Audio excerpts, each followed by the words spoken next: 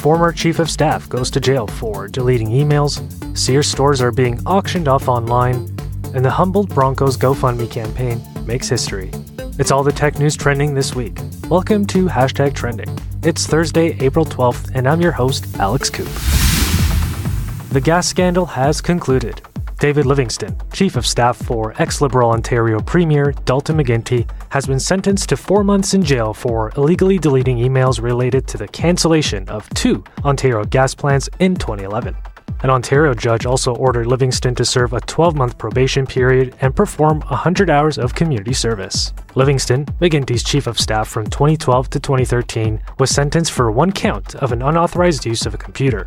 The news quickly started trending on Twitter, and shortly after the sentencing, Ontario's finance critic Vic Fedeli released a statement saying the news represents a, quote, pattern of political corruption in the Liberal government. The sentencing comes just a few months before the provincial election, June 7th.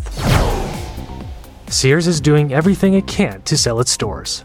Real estate firm Cushman and Wakefield is partnering with online auction site Real Insight Marketplace to help the troubled department store chain sell 16 stores.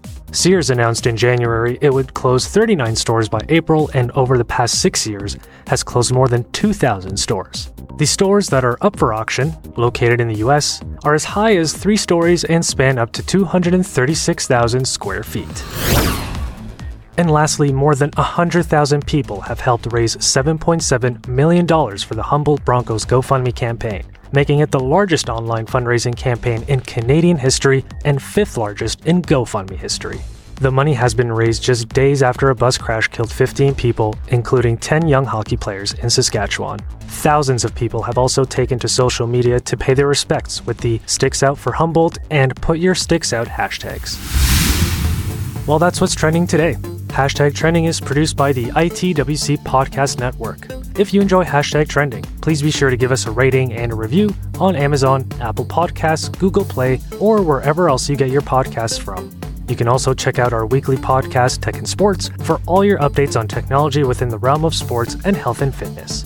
You can find it on your podcast service of choice or as a daily version on Alexa and Google Home devices. Thanks for listening. I'm Alex Coop.